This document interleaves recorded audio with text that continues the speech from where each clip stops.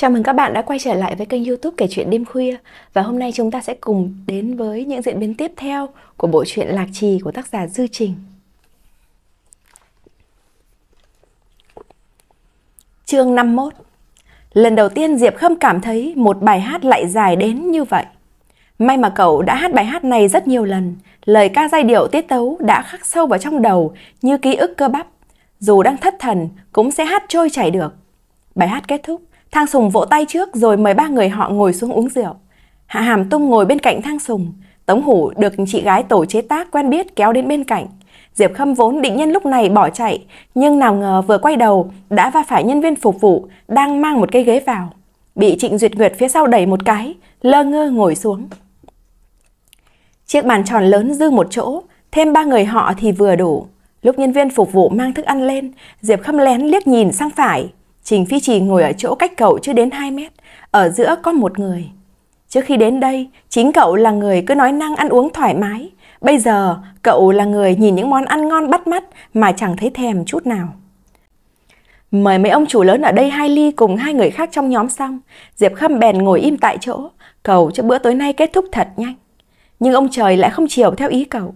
Chưa được nửa tiếng, quý khách ngồi bên phải đã lấy lý do còn buổi xã giao rồi rời đi trước. Nhân viên phục vụ lập tức đến thu dọn bát đũa và mang ghế đi. Lúc này giữa hai người hoàn toàn trống trải, nhìn sang bất kỳ hướng nào cũng có thể liếc được đến đối phương. Diệp Khâm nhấp nha nhấp nhổm, ước gì mình thành người vô hình.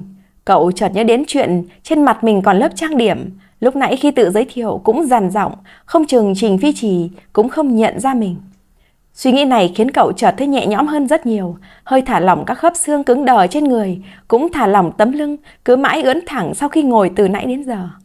Mất đi sự bối rối và lúng túng ban đầu, niềm vui đến muộn dâng tràn trong tim. Trình Phi Trì trở về rồi, chỉ mỗi điều này thôi đã khiến cậu xúc động đến mức đứng ngồi chẳng yên. Hơn nữa dường như anh đang sống rất tốt. Diệp Khâm cầm ly nước trên bàn, lúc ngửa đầu uống lại lén nhìn sang Trình Phi Trì. Sườn mặt anh vẫn điển trai vào góc cạnh như trước, Sơ mi trắng để mở hai cúc lộ ra yết hầu, tay áo lại cài chặt để người khác ngắm nhìn bàn tay dài mảnh khảnh đẹp đẽ của anh. Nhân lúc mọi người uống rượu trò chuyện hang say không chú ý, Diệp Khâm nhìn kỹ tay anh, nhìn thấy khớp xương và gân xanh nổi lên trên mu bàn tay do động tác cầm rượu. Cảm giác ấm áp khi được anh nắm tay lại ùa về. Dạp chiếu phim tối om, con đường với hai hàng cây khi vào cuối thu. Sân thể dục tràn đầy ánh nắng, bàn tay này đã từng nắm chặt lấy cậu, tựa như đang nắm báu vật quý giá nhất thế gian. Diệp Khâm cắn chặt răng, chặt đến mức quay hàm tê cứng, Bây giờ mới nén lại được những giọt lệ sắp trào ra nơi khóe mắt, không để mình mất kiểm soát trước mặt nhiều người như vậy. Anh ấy đã thật sự quay về rồi. Nửa sau buổi tiệc không xảy ra chuyện gì đặc biệt, Việc bàn chuyện làm ăn trên bàn rượu là thói quen của người Trung Quốc, thế nên đề tài cũng hơi khô khan nhạt nhẽo. Diệp Khâm chỉ dựng thẳng tay lên nghe không sót chữ nào vào những lúc họ su nịnh hỏi ý kiến Trình Phi Trì mà thôi. Lần này Trình Phi Trì được mời đến chứ không phải có việc công, thế nên anh rất ít khi nói chuyện. Những người ở đây gần như đều biết địa vị và sức ảnh hưởng của nhà họ dịch trong thành phố S. Dù anh không chủ động nói cũng chẳng thiếu người bắt chuyện nịnh nọt. Xếp Trình thuận tay trái nhỉ, nghe nói người thuận tay trái đều rất thông minh. Biết rõ đây là cái cớ để nịnh nọt thôi, mọi người đều hùa theo khen ngợi, toàn nói lời hay ho như tổng thống nào đó, danh nhân nào đó đều thuận tay trái. Tư duy người thuận tay trái nhạy bén. Trước những lời su nịnh của mọi người, Trình Phi Trì vẫn điềm nhiên. Anh đặt ly trong tay xuống, bình tĩnh rằng không phải do tay phải từng bị thương nên không tiện. Sau khi tan tiệc, Diệp Khâm vẫn đang nhớ lại xem tay anh bị làm sao. Năm xưa chia tay vội vàng quá, những vấn đề vẫn chưa rõ ràng thì mấy năm qua, có một nửa cậu đã mày mò thì được đáp án rồi. Nửa còn lại đã đi theo chuyến bay không có duyên gặp lần cuối ấy, hòa vào những tầng mây tan biến đi. Năm năm xa cách đã dựng nên một lớp mạn che thật dày, thật dài, ngăn cách mọi con đường liên lạc giữa họ, sau đó lại chặt đứt. Cuộc gặp gỡ ngắn ngủi sao bằng được nỗi biệt ly dài lâu. Bỗng Diệp Khâm dấy lên một ảo tưởng, hãy để thời gian bắt đầu sau khi đã quên đi tất thảy. Dù rằng lúc này cậu có nghèo túng, có khó khăn đến đâu chăng nữa, dù rằng đây là lần đầu họ gặp lại nhau. Cậu vào nhà vệ sinh rửa mặt, cố tình ở lại đến sau cùng, không ngờ vẫn gặp Thang Sùng đang ôm cây đợi thỏ ở góc rẽ hành lang. Diệp Khâm cảnh giác ngẩng đầu tìm camera. Thang Sùng cười nói, Cục cưng, Khâm Khâm đừng sợ, anh chỉ muốn nói vài lời với em thôi. Diệp Khâm nhíu mày, Hạ Hàm Tung đâu? Thang Sùng đắc chí. Quả nhiên, em đang ghen. Anh từng nói chỉ cần em theo anh, mọi thứ của cậu ta đều sẽ thuộc về em. Em còn gì để do dự nữa? Nghe nói hôm nay lại bị cậu ta chơi xỏ? À? Nói đoạn hắn cũng đến gần, vươn tay ra sau toan sờ mông Diệp Khâm, vừa chạm vào quần đã bị Diệp Khâm đẩy ra. Thấy cậu hung dữ trợn trừng mắt, đôi mắt đen láy nhìn mình, Thang Sùng càng phấn khích hơn, vòng qua eo cậu, đẩy cậu vào góc tường. Anh thích nhất kiểu kiêu ngạo giống mèo hoang như em đấy. Trước đây Diệp Khâm cũng từng bị Thang Sùng quấy rối, hắn ỷ việc bố mình có tài nên luôn hống hách thích gì làm nấy, ngày thường mềm nắn rắn buông, nhưng hôm nay uống một ít rượu vào, lá gan cũng to hơn, vừa đẩy cậu vừa chu môi muốn hôn. Diệp Khâm cảm thấy buồn nôn vì hơi thở nồng nặc mùi rượu của Thang Sùng, nâng tay giáng một cái tát vào mặt hắn. Do không kiểm soát được sức lực nên Diệp Khâm đánh lệch cả mặt đối phương. Thang Sùng lùi ra sau vài bước, bưng mặt sững người tại chỗ hồi lâu. Vẻ mặt không dám tin hóa thành giận dữ, bước đến túm cổ áo Diệp Khâm ấn cậu vào tường. Mẹ nó, nể mặt mày mà mày không cần phải không? Tưởng mình còn là thiếu gia họ Diệp à? Đôi mắt Diệp Khâm hơi mở lớn, chưa kịp phản ứng thì cầm đã bị thang sùng bóp ép phải ngẩng lên. Có hàng ngàn hàng vạn người muốn lên giường của ông, đừng tưởng mình có giá lắm. Thang sùng chế nhạo, nếu không vì gương mặt này của mày mấy năm qua càng ngày càng á. À! Chợt nghe tiếng binh trầm thấp vang lên.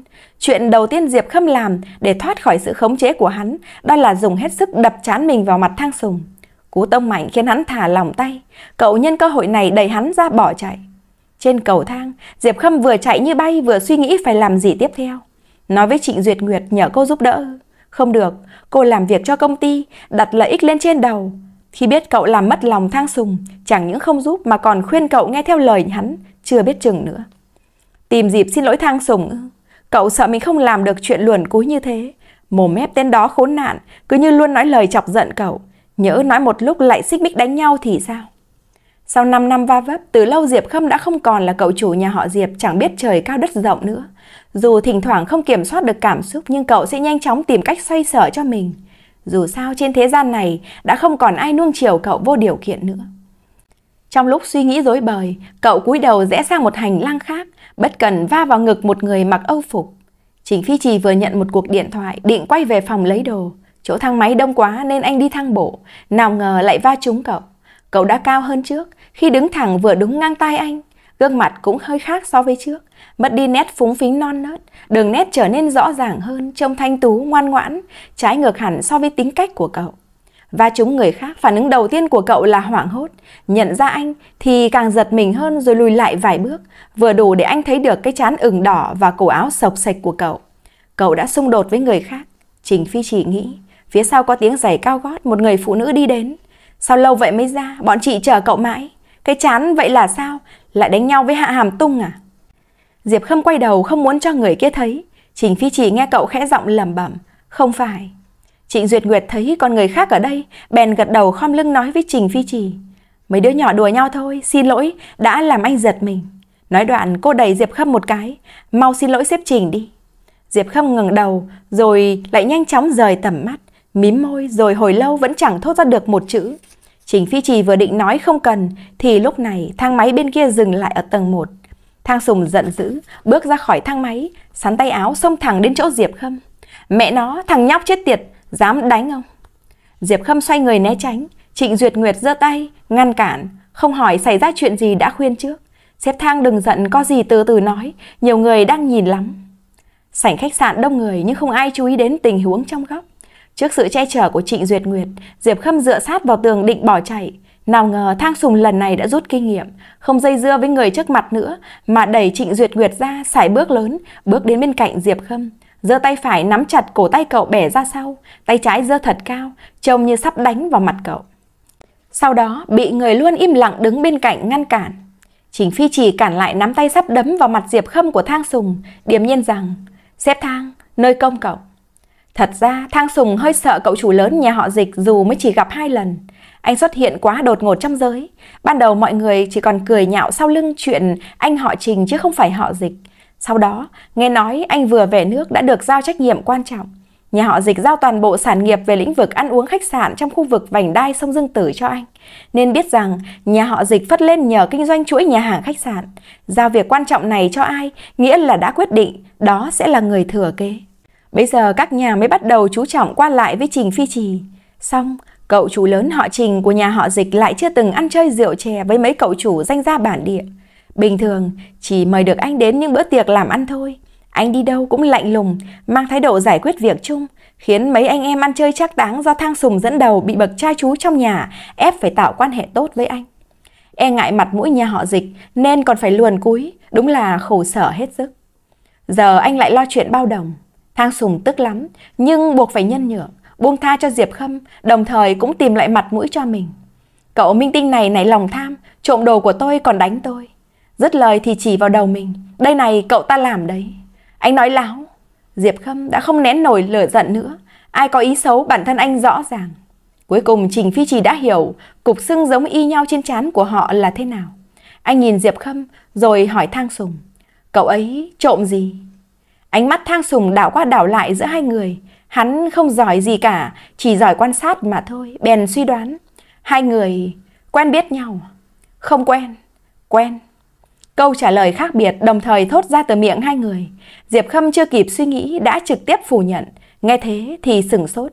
Nghiêng đầu nhìn người mà mình không dám nhìn thẳng từ nãy đến giờ.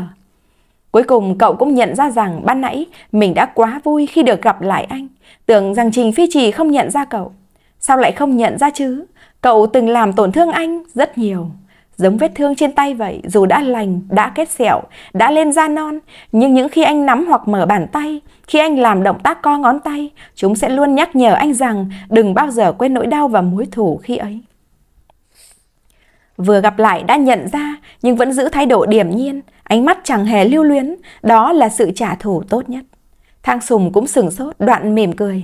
Do tôi quan sát kém, lúc nãy ngồi cùng bàn lâu như vậy mà vẫn không nhìn ra hai người quen biết nhau. Trịnh Duyệt Nguyệt ngạc nhiên lắm, nhìn người này rồi lại nhìn người kia hỏi Diệp Khâm. Cậu là bạn của sếp Trình à? Không phải, Diệp Khâm phủ nhận một lần nữa. Nụ cười của Thang Sùng càng tươi hơn. Ồ, vậy tôi không hiểu rồi, chẳng lẽ là anh em lạc nhau nhiều năm? Một lời nói đùa hời hợt, nhưng hai chữ trong câu nói lại hóa thành hai cây kim sắc nhọn đâm thẳng vào tim Diệp Khâm. Không chờ cho Trình Phi Trì mở miệng, cậu đã giành trước. Bạn học cũng dù biết dáng vẻ bây giờ của mình trông nhếch nhác cỡ nào, Diệp Khâm vẫn hít thật sâu, thẳng lưng bổ sung. Bạn học cùng cấp 3. Cậu không dám nghe câu trả lời của Trình Phi Trì, cậu muốn giữ lại chút thể diện cuối cùng trước mặt anh. chương 52 Trên xe, Trịnh Duyệt Nguyệt gặng hỏi, cậu thật sự là bạn cấp 3 với sếp Trình à? Diệp Khâm trả lời, vâng. Anh ta không phải người thành phố S sao? Trước đây là người thủ đô. Các cậu học chung trường à? Chị Duyệt Nguyệt vẫn không tin lắm. Chị nghe nói xếp Trình tốt nghiệp một trường nổi tiếng ở Mỹ, còn tưởng từ nhỏ anh ta đã sống ở nước ngoài rồi. Diệp Khâm nghĩ một lúc nói, khi còn học trong nước, anh ấy đã xuất sắc lắm rồi, thi đỗ trường nào cũng không bất ngờ. Tống Hủ cũng tò mò ghé sang hóng chuyện. Diệp Khâm nói những chuyện có thể nói, bao gồm cả việc anh từng đạt nhiều giải thưởng khi học cấp 3, xứng đáng là học sinh giỏi hàng đầu. Trịnh Duyệt Nguyệt nghe xong ngờ vực. Chỉ thấy cậu biết rõ quá, đâu giống bạn học bình thường. Lúc nãy anh ta còn ra mặt giúp cậu. Sau đó bèn khuyên nhủ. Có người bạn giỏi như vậy thì mau tạo quan hệ đi, đừng cứ ngu ngốc vờ như không quen. Người ta không thiếu bạn học đến gần làm quen tạo quan hệ như cậu đâu. Diệp Khâm lắc đầu không đáp. Đêm tối ở thành phố S đèn hoa lung linh, phố xá sáng rực, ánh vào mắt cậu lại chỉ có sự lạnh lẽo. Cậu biết lúc nãy dưới lầu khách sạn, nếu là người xa lạ không quen, Trình Phi Chỉ cũng sẽ giúp đỡ. Hành vi ấy không phải vì bảo vệ cậu, mà là phản ứng bình thường theo tính cách của anh. Thế nên khi nghe Trình Phi Chỉ thừa nhận hai người có quen biết, Diệp Khâm mới thấy lạnh run tận đáy lòng.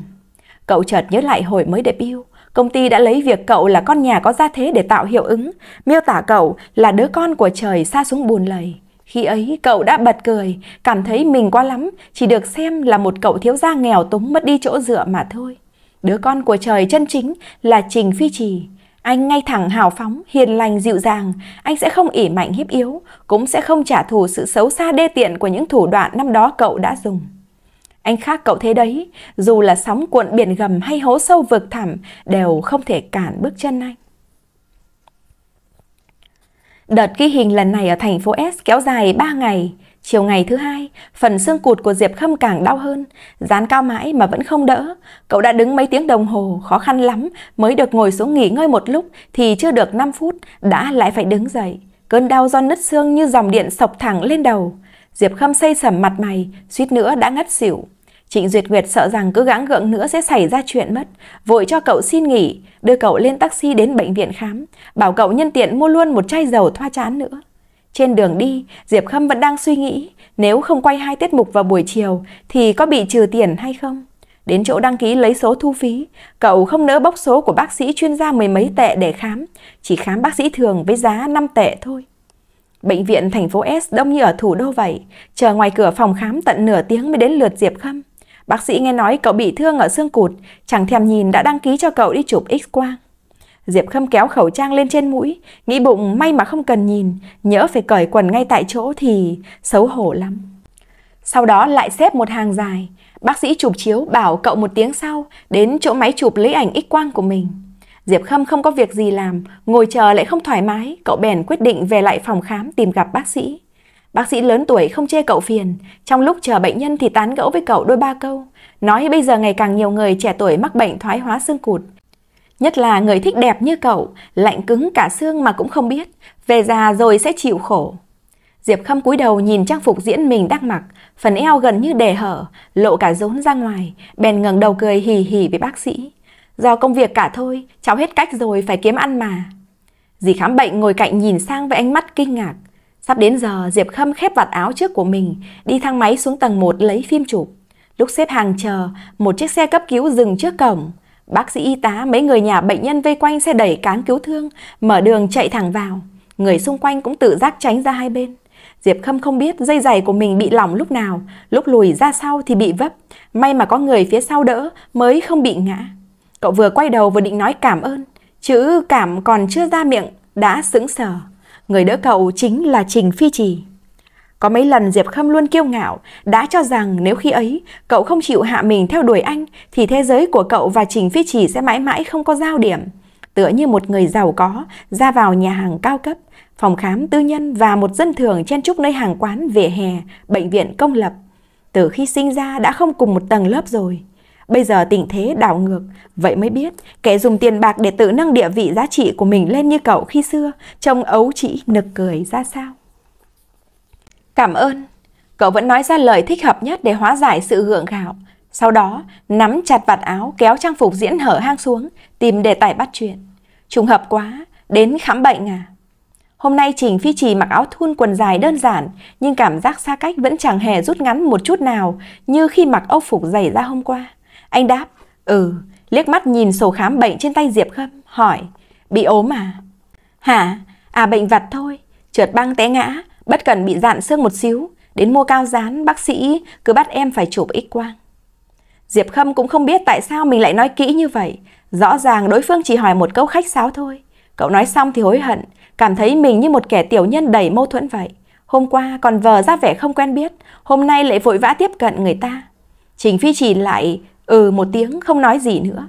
Diệp Khâm cúi đầu không dám nhìn anh, dán mắt lên sổ khám bệnh trong tay mình, chợt nhớ lại kỳ nghỉ hè 6 năm trước. Khi ấy hai người họ tình cảm nồng thắm, tối cũng phải ngủ cùng nhau. Còn nhớ có lần da cậu bị tổn thương vì đi dưới trời nắng quá lâu, Trình Phi chỉ đã chăm sóc cậu suốt đêm, lấy khăn ướt lau người giúp cậu, giảm bớt cảm giác như bị thiêu cháy, ôm cậu vào lòng vỗ nhẹ lưng cậu, khẽ giọng an ủi bên tai. Không đau nữa, không đau nữa. Thật ra cũng không đau đến thế, nhưng cậu muốn được Trình Phi chỉ dỗ nên cố ý vờ như đau lắm, tìm đủ mọi cách được ngả vào lòng anh. Sau đó không biết Trình Phi Trì nghe được cái gì, nói ra bị tổn thương, cần phải ra chỗ mát mẻ thoáng gió, kỵ đến gần nguồn nhiệt. Thế là Diệp Khâm vừa đến gần đã bị anh đẩy ra. Đến lần nào đẩy lần ấy cực kỳ lạnh lùng vô tình, khiến Diệp Khâm giận đến suýt khóc. Lần cuối cùng bị đẩy ra, cậu nâng chân đá Trình Phi Trì, bảo anh ra ngoài ngủ, đừng ở đây làm mình chướng mắt nữa. Trình Phi Trì ra thật. Chưa đầy 10 phút sau, Diệp Khâm đã hối hận. Cậu để chân trần lén đi đến cửa, đặt tay lên tay nắm cửa, ghé sát tay vào nghe tiếng động bên ngoài, nhưng chẳng nghe thấy gì cả. Cậu hoảng đến mức vội vàng mở cửa ra, vừa ngẩng đầu đã thấy Trình Phi Trì đứng phía trước, dang rộng hai tay mỉm cười nói: "Bây giờ ôm được rồi." Chỉ trong 10 phút ngắn ngủi anh đã vào nhà vệ sinh tắm nước lạnh, dù biết có thể sẽ bị cảm, dù biết nhiệt độ cơ thể sẽ ấm trở lại, Quá lắm, cũng chỉ để hai người ôm nhau được 5 phút thôi. Đến giờ Diệp Khâm vẫn nhớ như in tâm trạng lúc ấy của cậu khi xà vào lòng anh. Hai chữ ngọt ngào sao có thể miêu tả được một phần vạn cảm giác hạnh phúc đong đầy trong cậu vào giây phút ấy cơ chứ. Còn giờ đây, hai người một trước một sau giữ khoảng cách xa giao một mét. Hành vi không tránh né cũng không quan tâm thái quá của Trình Phi Trì dường như đã trở lại giống với tâm thế đề phòng khi xưa. Không, là một bức tường ngăn cách vô hình còn kín kẽ hơn cả vạch phân cách. Tựa như mọi thứ về cậu đều không liên quan gì đến anh nữa. Anh cũng chẳng muốn tìm hiểu thêm nữa. Cậu còn nợ anh quá nhiều câu cảm ơn và xin lỗi. Khi ấy vì sĩ diện nên không nói ra được, còn bây giờ cậu đã mất đi tư cách để nói rồi. Sau khi lấy ảnh x quang, Diệp Khâm tạm biệt Trình Phi Trì, chẳng hơi đâu quan tâm cơn đau ở xương cụt nữa, vừa quay đầu đã chạy mất. Cậu ỉ mình không nổi tiếng nên chạy đến phòng khám bệnh viện công lập. Lúc Chu Phong gọi điện thoại đến, bèn kéo thẳng khẩu trang xuống nói chuyện với người ta. Tôi tìm được cậu ấy rồi, tôi tìm được cậu ấy rồi, tôi tìm được cậu ấy rồi. Vừa kết nối, Chu Phong đã hò hét loạn xạ. Diệp Khâm còn tưởng mình nhấn nhầm nút lặp lại. Bèn đưa điện thoại ra xa, che tay nói. Ai không biết còn tưởng ông được làm bố đấy. Đã tìm được người trong lòng rồi, làm bố, còn xa à? Thôi thôi, tôi làm anh trai là được. Chu Phong đắm chìm trong sự phấn khích không thoát ra được. Lúc trước, chúng ta đã hiểu nhầm, tưởng tấm biêu thiếp đó được gửi từ tỉnh Hát. Đinh ninh cậu ấy đang ở tỉnh Hát, nhưng thật ra cậu ấy đang ở thủ đô. Qua lời Chu Phong kể, Diệp Khâm biết Liêu Giật Phương đang dạy môn lịch sử trong một trường trung học ở thủ đô. Rất đỗi ngạc nhiên. Lúc trước, thành tích lớp trường tốt như vậy cũng có dự định ra nước ngoài. Bây giờ làm giáo viên có uổng quá không? Chu Phong nghe thế im lặng hồi lâu rồi nói. Tại tôi cả, chắc chắn là vì chuyện chuyển trường gần kỳ thi đại học đã ảnh hưởng đến tương lai của cậu ấy. Một lúc sau, cậu ta đã phấn chấn trở lại. Không sao, sau này tôi sẽ cho cậu ấy một cuộc sống thật tốt. Đến khi được tha thứ thì thôi. Tôi sẽ dẫn cậu ấy đi đăng ký kết hôn. Lúc đó, ông làm người chứng hôn cho bọn tôi nhé. Diệp Khâm nhắc nhở cậu ta phải qua được ải gia đình đã. Chu Phong chẳng thèm để tâm. Tôi và cậu ấy yêu thương nhau, hợp lý hợp pháp. Tôi đã nghe lời họ đi làm lính rồi, họ còn ý kiến gì nữa à? Diệp Khâm vẫn cảm thấy có chỗ nào sai sai, bèn hỏi. Lần này, ông thật lòng à? Mẹ! Chu Phong chửi thề. Đừng nói, ông tưởng tôi khổ sở đến bây giờ chỉ để đùa vui thôi nhé. Vậy Tôn Di Nhiên thì sao? Nhắc đến chuyện cũ, Chu Phong trột dạ. Bây giờ Di Nhiên đã có bạn trai chuẩn bị cưới hỏi rồi, sống cũng tốt lắm. Mấy hôm trước tôi gọi điện với cô ấy, cô ấy bảo chuyện quá khứ đã qua cả rồi, còn hẹn chúng ta dành thì họp mặt. Tôi nghĩ lúc gặp viên viên tôi phải thể hiện lòng chân thành 200%, phải chân thành hơn cả lời thề lúc tổng quân nữa. Lòng thành chiến thắng mọi khó khăn, chắc chắn cậu ấy sẽ tha thứ cho tôi nhỉ. Không biết nghĩ đến điều gì, Diệp Khâm chợt ngẩn ngơ nói. Vậy thì chưa chắc. Chu Phong không nhận được lời khẳng định, chán nản rằng mấy năm không gặp, sao A Khâm ông lại trở nên như vậy? Không thể cổ vũ tôi một chút sao? Diệp Khâm cười hưởng. bản thân cậu còn chưa lo xong, sao cổ vũ khuyến khích người ta được cơ chứ? Chu Phong chợt thở dài, lần nữa mở lời, giọng điệu đã trở nên trịnh trọng. Mấy năm qua, ngày nào tôi cũng nhìn núi rừng mênh mông, nhìn cát vàng bao la. Người tôi nhớ đến nhiều nhất chính là cậu ấy. Lúc ngủ thì nghĩ cậu ấy ngủ chưa, ăn cơm lại nghĩ cậu ấy đã ăn chưa. Nghe đại đội trưởng lên bục phát biểu, cũng nhìn nhầm thành cậu ấy đang phát biểu dưới lá cờ tổ quốc. Có lẽ cũng do môi trường xung quanh, trong quân đội toàn là đàn ông, có ai cười ngọt ngào được như cậu ấy đâu, một lòng một dạ với tôi như cậu ấy đâu. Nói một lúc thì tự chọc cười mình rồi hắng giọng nói. Hay A Khâm, ông truyền dạy kinh nghiệm cho tôi đi, tôi sợ gặp cậu ấy rồi run quá không nói được câu nào, lúc đó lại trở thành trò cười cho lớp cậu ấy. Diệp Khâm vừa gặp lại người mình nhớ nhung 5 năm, bây giờ cậu có quyền phát biểu. Cậu ngẩng đầu nhìn trần nhà trắng tinh của bệnh viện, suy nghĩ thật lâu, dường như sợ Chu Phong không hiểu nên cố gắng lựa lời dễ hiểu nhất. Nếu như chưa suy nghĩ kỹ thì hãy dằn lại đã, đừng nói gì cả. Và những suy nghĩ đã chôn giấu trong lòng nhiều năm, đừng sợ mất mặt, hãy chân thành nói rõ từng câu cho cậu ấy nghe. Nhân lúc vẫn còn cơ hội. Ngày về lại thủ đô, Diệp Khâm nhận được hợp đồng của đoàn làm phim lần trước thử vai. Chị Duyệt Nguyệt vui lắm, mới sáng sớm đã đòi Diệp Khâm ký hợp đồng gửi đi, sau đó bắt đầu lên kế hoạch tìm trợ lý cho cậu. Tuy chỉ là một bộ phim thần tượng chứ chẳng phải tác phẩm lớn gì, cũng chỉ cần quay hơn một tháng ở thành phố S thôi. Nhưng dù gì thì cũng mang danh nam thứ, để diễn viên một mình ôm hành lý thì mất mặt quá. Liên lạc đủ đường khó khăn lắm mới tìm được trợ lý, cô lại kéo Diệp Khâm vào siêu thị mua đồ. Diệp Khâm ghi hình chương trình vận động ngoài trời chọn 3 ngày, về ký túc xá cũng chẳng được nghỉ ngơi. Cậu đi phía sau Trịnh Duyệt Nguyệt ngáp liên tục, nhìn cô ném đồ thứ vật dụng sinh hoạt như nồi niêu song chảo vào xe đẩy mà không ngăn được. Đâu phải lần đầu đóng phim không cần chuẩn bị nhiều thế đâu. Dù sao Diệp Khâm cũng đã debut 5 năm, chưa từng quay phim nghiêm túc, nhưng kiểu như web drama kinh phí thấp, phim tài liệu thì nhiều lắm. Cậu cảm thấy Trịnh Duyệt Nguyệt chuyện bé sẽ ra to, lo lắng thái quá rồi. Sao lại không cần dùng? Trịnh Duyệt Nguyệt cầm mấy lọ nước hoa đuổi mũi trên tay. Các cậu quay phim trên núi, ở ngoại ô thành phố S, tắm rửa cũng không tiện, và lại cậu không biết mũi trên núi giữ dằn thế nào à? Chúng có thể đốt cho làn da non mịn của cậu thành cái dây lọc đấy. Vừa uống nước vào đã phun phì phì ra ngoài như cái vòi hoa sen. Diệp Khâm hoàng hồn bởi hình ảnh so sánh của cô, chủ động lấy hết mấy lọ nước đuổi mũi. Hôm sau lúc lên núi còn bỏ một lọ vào trong túi áo. Sắp đến ngày rỗ của La Thu Lăng, Diệp Khâm sợ lúc đó phải vào đoàn làm phim sớm, không có thời gian về thủ đô, bèn đi viếng trước. Mộ của La Thu Lăng được đặt tại nghĩa trang sâu trong núi của nhà họ Lăng, giống như ông ngoại. Trước đây đều có xe điện đưa đến biệt thự của nhà họ Lăng trên núi. Sáng hôm sau đi vài bước là đến. Bây giờ không có xe cũng chẳng có nhà, Diệp Khâm tự mình đi bộ lên. Vừa đi vừa cầm điện thoại đặt một phòng đơn trong homestay trên núi. Với tốc độ của cậu, lên đến trên núi thì trời đã tối, chỉ có thể ngủ lại một đêm, sáng sớm mai dậy ra mộ thắp hương. Chất lượng không khí hôm nay không tốt lắm, sương mù phủ khắp núi đồi. Diệp Khâm đi được nửa đường thì ngước mắt nhìn lên, đường núi ngoằn nghèo, trước mặt cũng không còn rõ ràng nữa. Hoàng hôn dần buông xuống, thỉnh thoảng sẽ có người đi ngang từ trên núi xuống. Bây giờ cậu nảy ra suy nghĩ hay là để hôm khác rồi đến.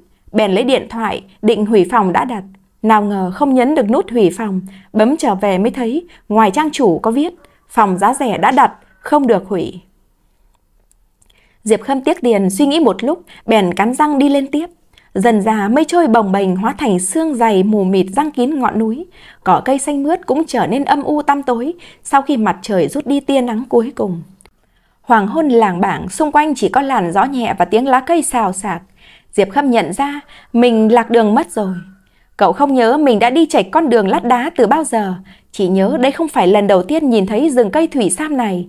Lần trước đi qua, khi ấy ánh mặt trời vẫn còn chiếu xuyên qua những thân cây san sát thẳng tắp, còn giờ thì chỉ có những cái bóng âm u. Đi thêm vài vòng gần đó, Diệp Khâm dần thấy sợ. Trước khi hô hấp trở nên dồn dập, cậu lấy điện thoại gọi. Số của Chu Phong và Tống Hủ đều không gọi được. Trịnh Duyệt Nguyệt đang làm việc, bảo cậu mau gọi nhờ cảnh sát.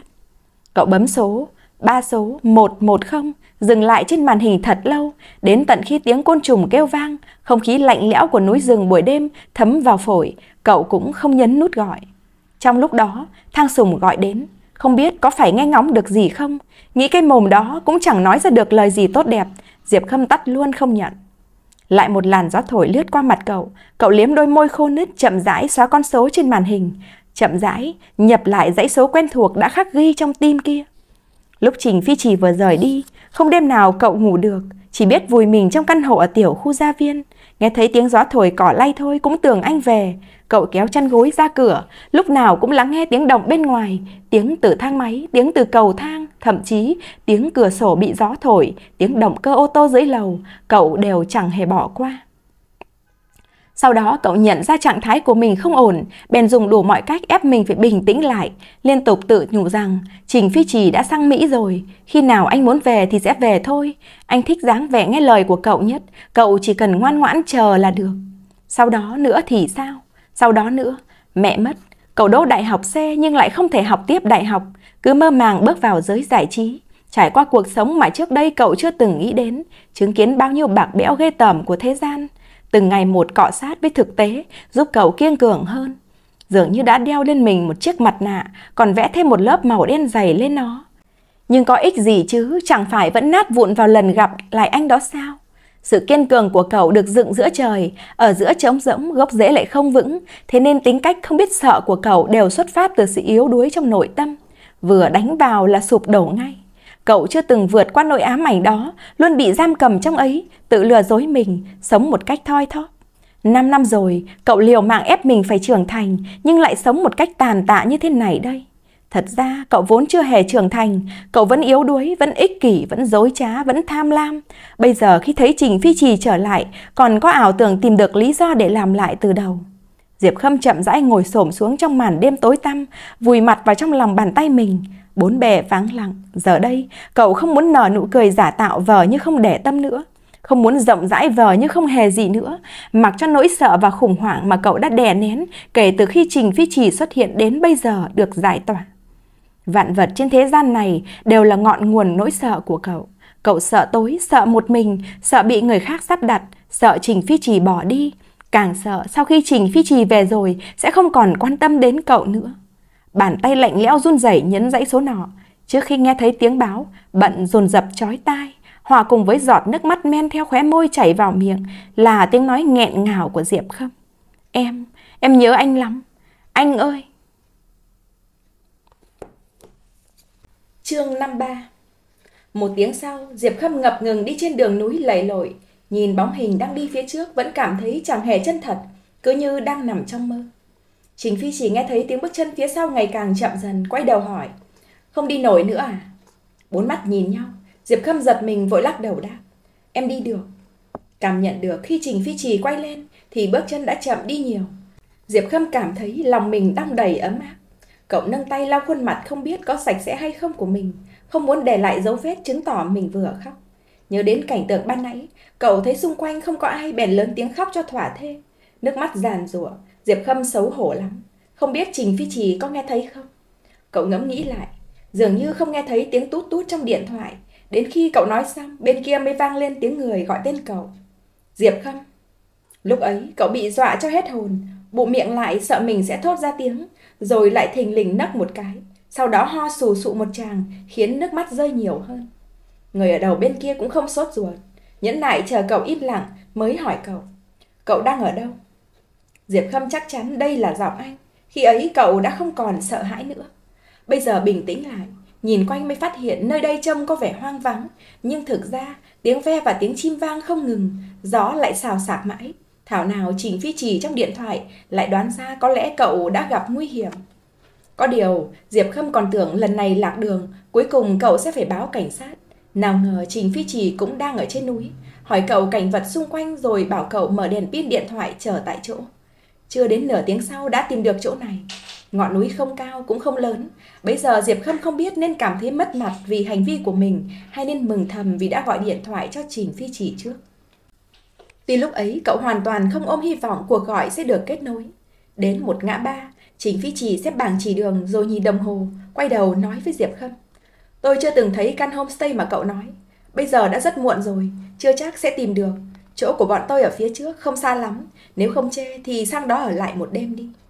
Tất nhiên Diệp Khâm không chê rồi, nhưng ngại thể hiện quá rõ ràng, bèn hỏi. Anh nghỉ phép ở đây à? Ừ, Trình Phi Trì nói.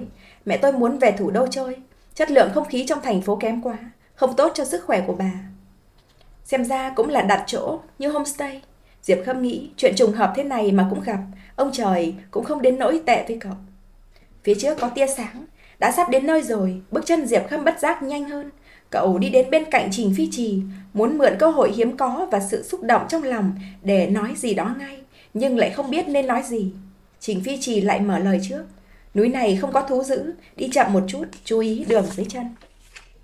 Diệp Khâm sững sờ, không ngờ anh còn nhớ chuyện mình sợ tối bèn lúng túng đáp.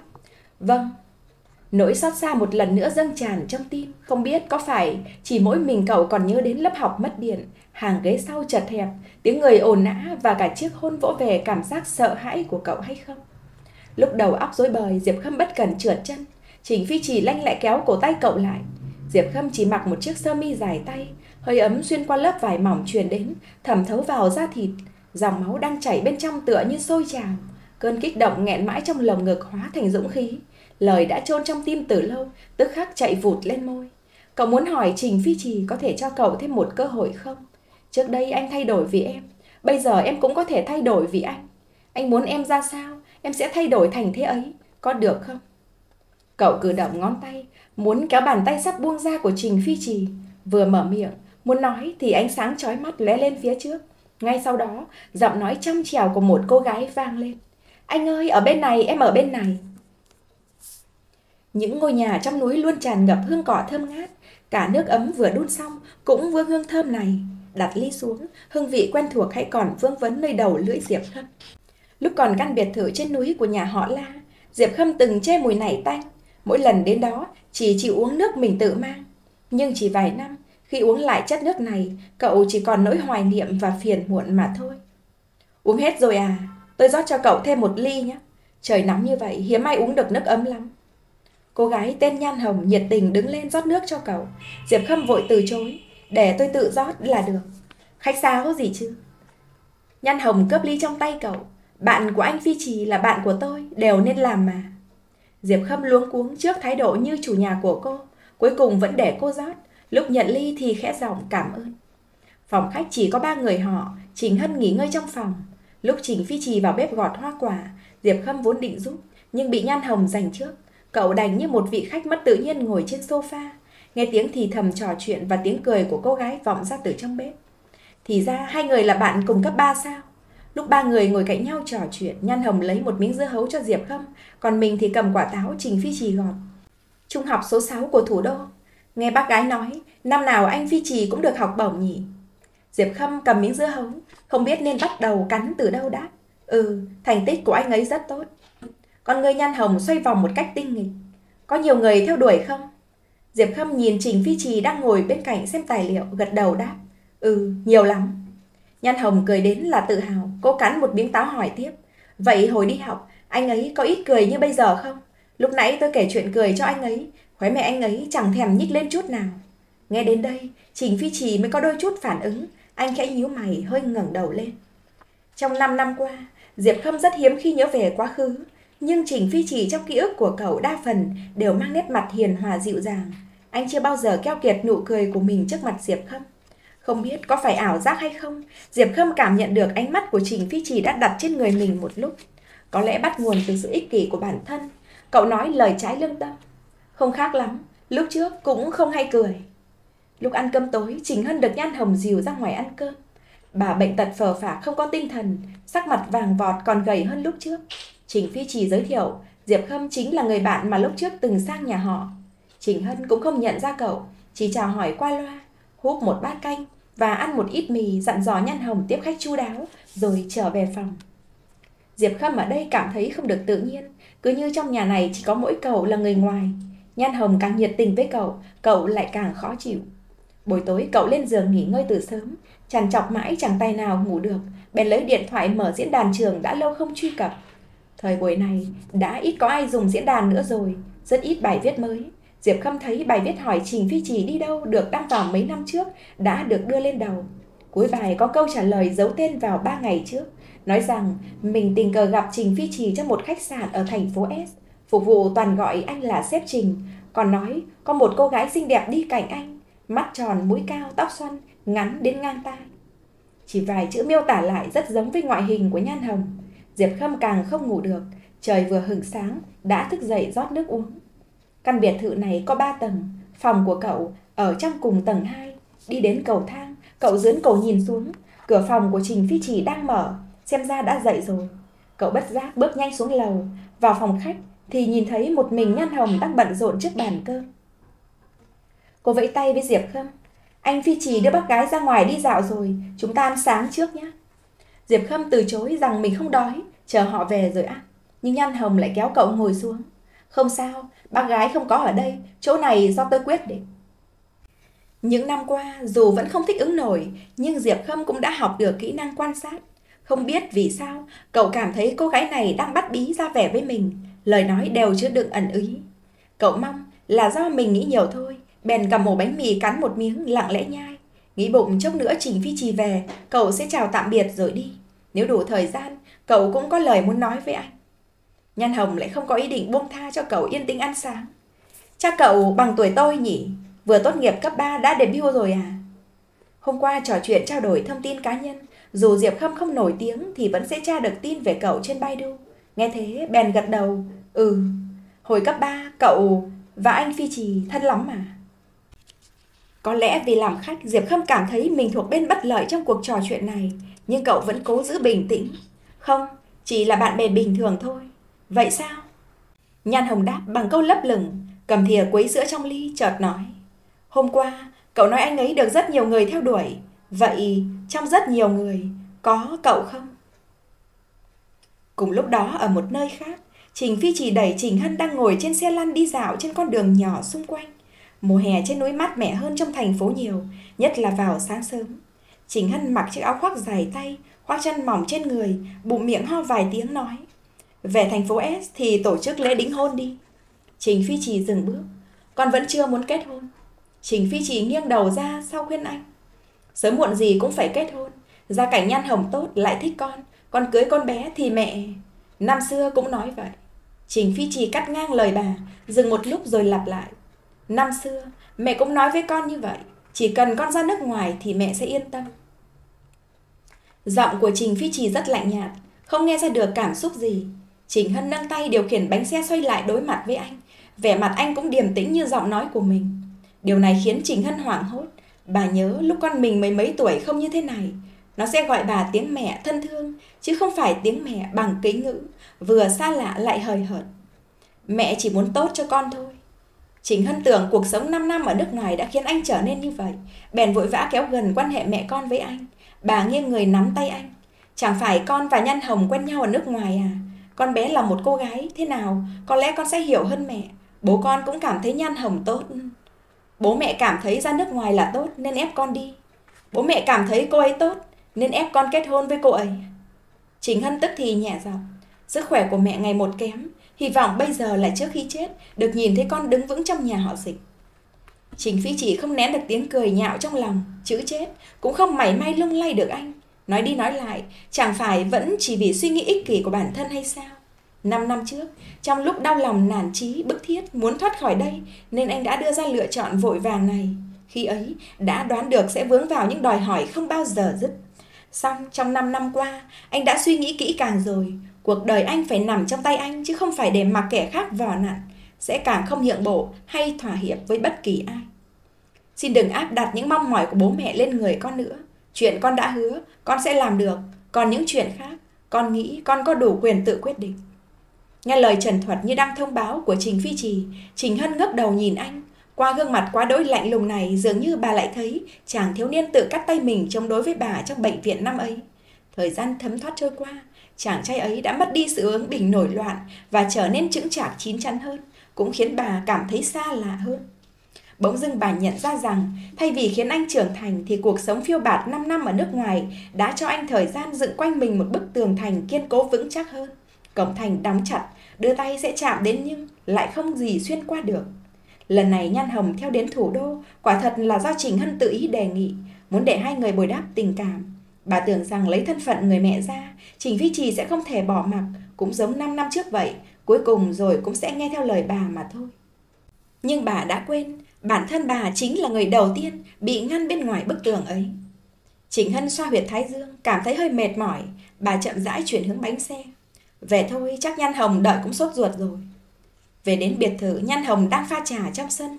Cô dìu Trình Hân đến bên bàn ăn cơm. Trình Phi Trì ngẩng đầu nhìn lên tầng 2. Nhan Hồng nói, cậu ấy bảo còn có việc nên đi trước rồi. Trình Phi Trì rời mắt về, gật đầu. Ăn cơm xong, anh mới nhớ ra, hôm qua mình đã quên hỏi Diệp Khâm lên núi làm gì. Anh lấy điện thoại trong túi ra xem. Chiều hôm qua về thủ đô, khi đến chỗ bà ngoại lấy những vật anh đã để lại trước khi đi ra nước ngoài, vừa nhìn đã nhận ra chiếc điện thoại mình từng dùng trước đây. Bà ngoại nói, bà nghĩ rồi cháu sẽ về thôi, vẫn cần liên lạc với những người bạn cũ mà, nên bà vẫn luôn giữ lại số điện thoại cho cháu. Buổi tối lên núi, có lẽ nhịp sống hối hả sau khi về nước khiến anh không quen với sự nhàn rỗi đột ngột này và ma xui quỷ khiến thế nào, anh lại nhấn mở nguồn điện thoại. Chưa đầy 3 phút thì nhận được cuộc gọi của Diệp Khâm. Điện thoại kiểu cũ, pin kém, chỉ một đêm đã tự tắt nguồn. Cắm sạc mở nguồn và chờ một lúc, màn hình trống rỗng, không có cuộc gọi nhỡ nào, cũng chẳng có tin nhắn. Trình Phi chỉ đặt điện thoại trong phòng để sạc pin. Lúc xuống lầu đi ngang qua phòng Diệp Khâm đã ở một đêm, anh bèn vào trong đóng cửa sổ, thấy một lọ dầu thơm đặt trên bàn. Dưới lọ được kẹp một mảnh giấy. Cảm ơn đã tiếp đãi, em đi trước nhé. Chữ viết cầu thả chẳng khác gì trước đây nhưng dấu chấm lại rất to tròn. Ký tên dưới góc phải là Diệp Mềm, giống y như tên của cậu trong chiếc điện thoại đã 5 năm rồi, không động vào đó. Chúng ta sẽ cùng chờ đón phần tiếp theo, câu chuyện giữa Trình Phi Trì và Diệp Khâm tại kênh youtube kể chuyện đêm khuya ở tập sau nhé. Còn bây giờ, xin chào và hẹn gặp lại.